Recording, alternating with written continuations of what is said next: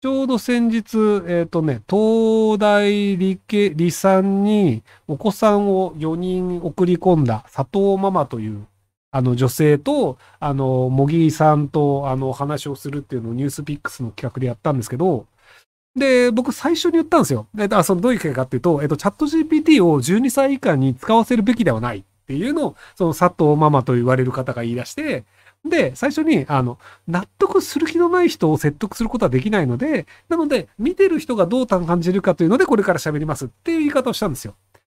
なので、その、じゃあ、チャット GPT がどれだけ危険なのかっていうのを、じゃあ、その佐藤ママっていう人に説明してくださいって言ったら、なんか、子供が書いた詩なのか、チャット GPT が書いた詩なのかがわからないとかって、すごくどうでもいいこと言われて、えっと、子供が書いた詩なのか知りたかったら目の前で詩書かせればいいんじゃないの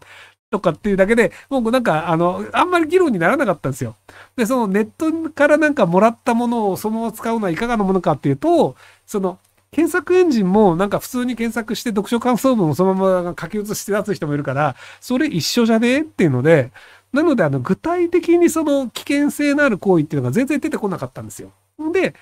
で、その検索エンジンは OK で、そのチャット GPT はダメっていうところの具体的な基準もわかんなかったんですよね。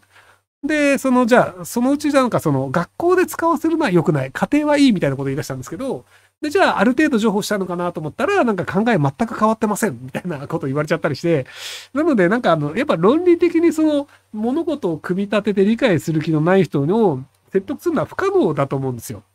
なので、その自分が絶対的に正しい嘘をついてもいいと思ってる人を、といくら話をしても、説得は不可能なんですよね。